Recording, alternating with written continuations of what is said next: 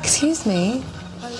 Can I help you today? I'd like to buy a car. Hi, I'm Dr. Eugene Landy. Do you know who this man is? Brian Wilson of the Beach Boys. Ah.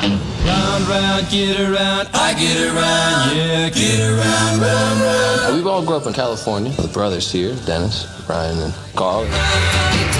So I listened to those harmonies. I would teach them to my brothers, and we'd all sing. Listen to me, I'm going on and on. What about you, Melinda? Why don't you have a boyfriend? He broke my heart. You shouldn't have done that. You hear the new Beatles? We can't let them get ahead of us. Got all kinds of new ideas, new sounds, new instruments. You think we could get a horse in here? I'm picking up good vibrations. We've played with everybody Sinatra, Elvis, but you, blowing our minds. If you want to continue to sing him, you should know Brian is a very, very sick man.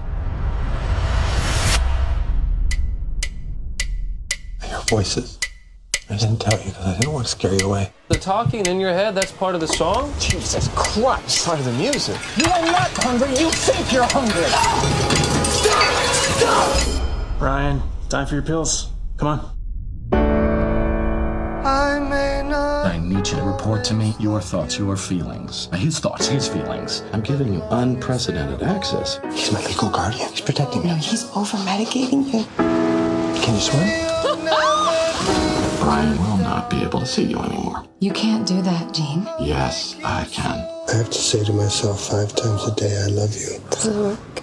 I don't know. Sometimes I wish I had somebody else to say it to.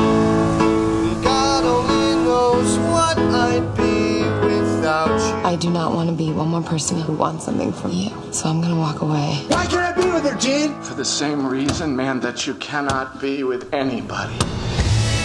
God only knows what I'd be with. I'm gonna beat this, and I'm gonna beat you! You need to get back to your life. You and me, we're going to walk out of here right now, and everything